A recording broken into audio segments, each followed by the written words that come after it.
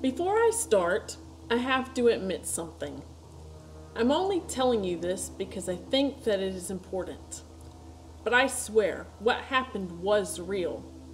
I just hope that you don't judge me based on what I'm about to share. See, the thing is, I live in a mental institution. I am clinically insane. Ten years ago, I was diagnosed with severe paranoia, hallucinations, and multiple other disorders, and I was locked up in here because my parents couldn't cope. I don't hold anything against them. I mean, it's not their fault that their daughter is crazy.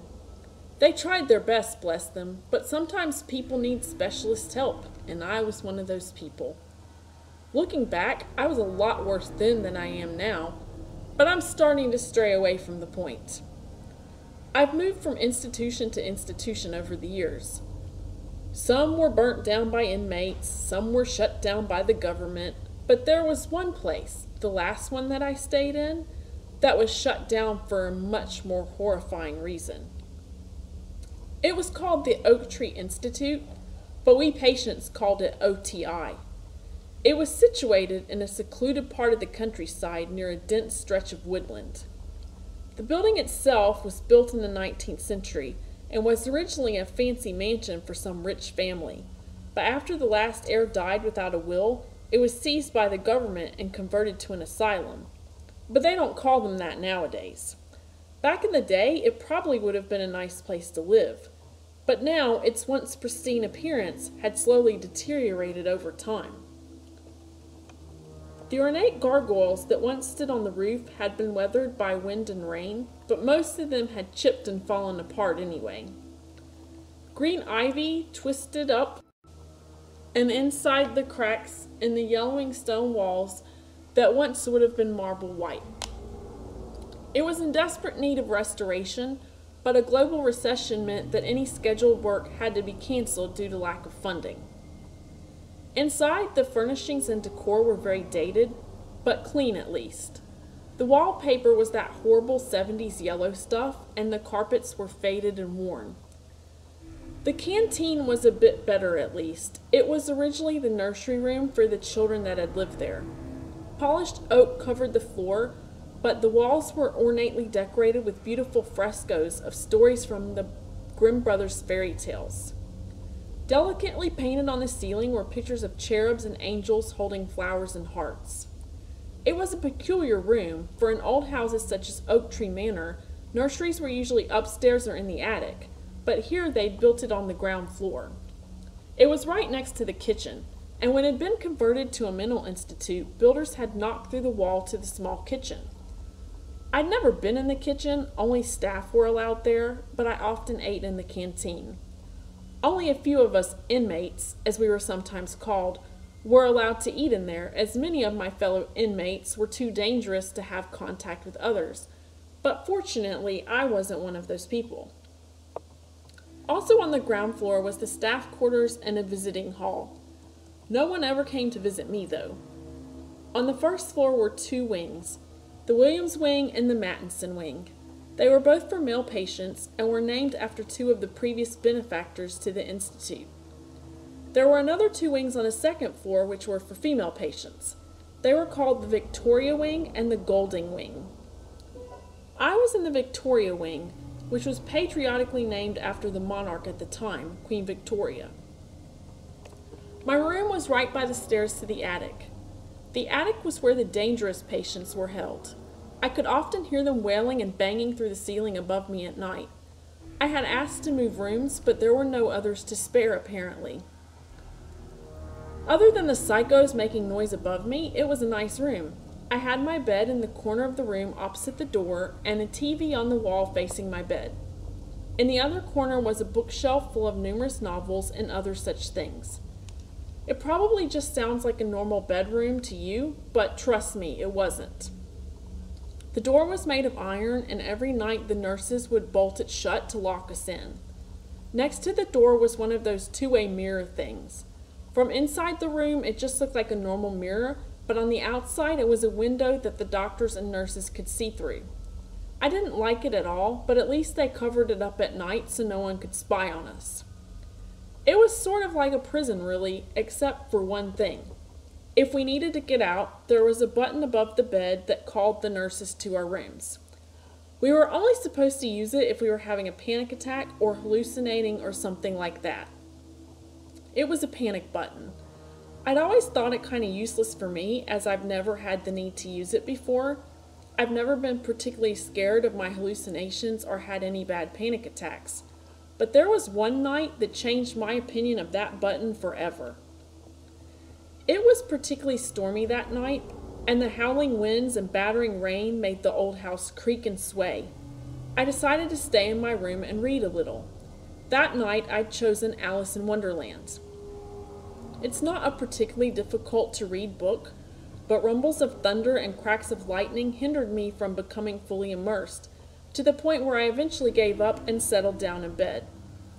As I was tired, I drifted off almost immediately, though, since I'm a light sleeper, I kept being awoken by random noises and the wails of the crazies upstairs. I know it may seem a bit off for me, of all people, to mock others and their mental health ailments, but if you've been locked away for as long as I have, you'd become mean too. But I digress. Allow me to continue to bore with the seemingly unnecessary details of that night. After the wails of the criminally insane above me finally desisted, I managed to sleep for another two hours before I was next woken up. This time it was the night nurse locking and bolting the door.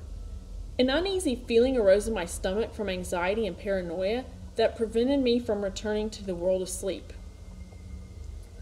I lay awake for several hours, left alone to my empty thoughts and the storm raging outside.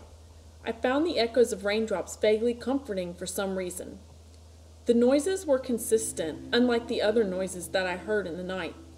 The monotony of the pitter pattering sent me into an almost hypnotized state. They've done studies on that, you know. Volunteers were strapped to chairs and were blasted with sequence lights and radio static. These stimulants seemed to induce a sleep like phase on the subjects, and I suppose that was what happened to me that night. It didn't feel like normal sleep. It was almost as if I was semi conscious, yet the telltale dreamlike elements were still there. I could hear the storm outside, but I could also hear alarms and eerie chanting that sounded distant and muffled. Naturally, at the time, I assumed that I'd dreamt these noises or that I'd at least hallucinated them. But then I heard another noise. It was a sharp, loud noise that drew me to wakeness. There was an urgency in the noise that set off warning bells in my head. When I was finally fully conscious, I managed to decipher the sound. It was tapping. It was fingers tapping in glass. Suddenly, I was blinded by a dim light that lit up my room that was once blanketed in darkness. On the wall next to my bed, I could see a looming shadow with long, bony, tendril like fingers dancing up and down. Involuntarily, I shuddered, and the tapping stopped. I thought it was all over, and that I'd just hallucinated a little. But I was wrong. The absence of sound was replaced by ear piercingly painful screeches. I groaned a little as the daggers of sound shredded my eardrums. My mind started to wander, and I involuntarily began to imagine horrifying things. They were huge, dark, shadowy things with pale faces and knives for hands slowly creeping towards me. Fear started to grip me as my thoughts felt more and more real. I didn't know what to do.